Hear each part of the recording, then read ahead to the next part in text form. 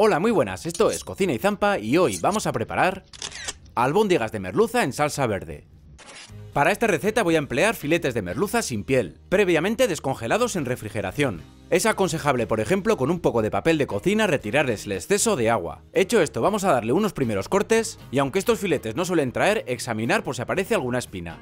Seguidamente iremos introduciendo en una picadora en varias tandas, y una vez tengamos la merluza bien picada, la vamos pasando a un bol. Picaremos también unos dientes de ajo y un poco de perejil fresco, y lo añadimos a la merluza junto con un punto de sal, pimienta negra recién molida, un huevo y dos o tres cucharadas rasas de pan rallado. Mezclar bien todos los ingredientes, dejar reposar unos minutos la masa y a continuación vamos a hacer las albóndigas. Simplemente aplastamos ligeramente y con las palmas de las manos hacemos la forma redonda, tamaño más o menos como de dos bocados.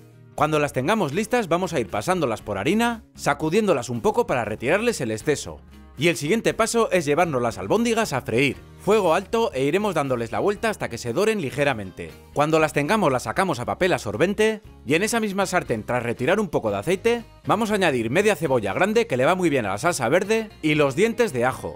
Ponemos un punto de sal y dejamos que se poche a fuego medio por unos 10 minutos, dándole alguna vuelta durante este tiempo. Seguidamente añadimos una cucharada colmada de harina y dejamos que se cocine durante unos 30 segundos, para que la harina pierda el sabor a crudo. A continuación agregamos el vino blanco, integramos y seguidamente añadimos el agua o un caldo de pescado si queréis potenciar el sabor de la salsa. Poner un pequeño punto más de sal y dejaremos que hierva a fuego medio alto sobre unos 10 minutos. Si veis que la salsa en este tiempo espesa demasiado, añadir un poco más de agua o caldo. Cuando tengamos la salsa lista, vamos a ponerle un poco de perejil fresco picado, integramos e introducimos las albóndigas, las cuales taparemos y dejaremos cocinar a fuego medio entre 5 o 7 minutos. Hecho esto, solamente nos queda servir y disfrutar. Espero que os haya gustado la receta y hasta la próxima.